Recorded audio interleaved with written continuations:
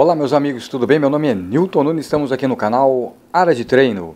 Hoje para falar sobre os limiares ventilatórios. Os limiares ventilatórios são de fundamental importância na prescrição de treinamento físico de corredores. Eles definem as zonas de treino coerentes com cada objetivo do praticante. Existem dois limiares ventilatórios obtidos através da avaliação cardiopulmonar, o limiar anaeróbio e o ponto de compensação respiratória. O limiar anaeróbio, ou por alguns autores chamado também de limiar aeróbio, é o momento do início de um maior tamponamento, ou seja, a intensidade do exercício começa a acumular íons H+, e lactato sanguíneo, alterando o pH e estimulando o incremento na ventilação. O lactato produzido tanto no repouso, pequenas quantidades, quanto no exercício devem ser tamponados e eliminados prevenindo seu acúmulo. Porém, quando a produção é maior que a remoção, haverá um acúmulo de lactato, prejudicando a homeostase interna e o rendimento esportivo durante a corrida. O treinamento físico aeróbio produz adaptações celulares que aceleram os ritmos de remoção de lactato, fazendo com que o acúmulo ocorrer, ocorra somente em altas intensidades de exercícios. A zona entre os limiares ventilatórios é chamada de zona aeróbia, sendo que a faixa acima do segundo limiar ventilatório é chamada de zona anaeróbia. Essas faixas são de fundamental importância na definição das frequências cardíacas e velocidades na pista esteira que um corredor deve treinar. Durante o exercício, o lactato sanguíneo começa a aumentar exponencialmente em intensidades acima de 60% da capacidade máxima em uma pessoa sedentária.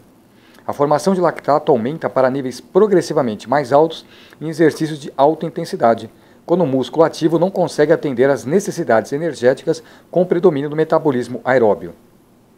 Os indivíduos treinados exibem um padrão semelhante de comportamento da curva de lactato, exceto para o ponto no qual o aumento de lactato no sangue ocorre bruscamente. Esse ponto brusco de aumento do lactato sanguíneo é também chamado como limiar, limiar de lactato sanguíneo, ou ainda como início de acúmulo de lactato sanguíneo. A intensidade de exercício no ponto de acúmulo então do lactato consegue predizer enfaticamente o desempenho no exercício aeróbio, fato que auxilia na prescrição do treinamento. O limiar anaeróbio ou aeróbio, como alguns autores chamam, é o momento do início de um maior tamponamento, ou seja, é a intensidade do exercício onde começa a acumular íons H+, e lactato sanguíneo, alterando o pH e estimulando o incremento na ventilação.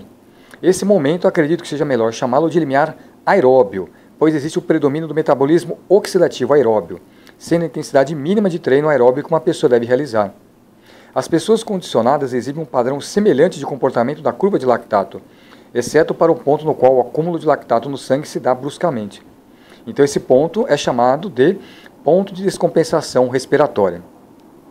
Bom, meus amigos, agradeço aí a participação de vocês. Se vocês desejarem mais informações, acesse lá o site www.aradetreino.com.br ou vejam outros vídeos aqui no meu canal, no canal área de treino. Mais uma vez, eu agradeço a participação de vocês. Se vocês gostaram desse vídeo, curtam aí. Se vocês gostaram do meu canal, o Área de Treino, se inscreva aí no meu canal. Mais uma vez, muito obrigado e até a próxima.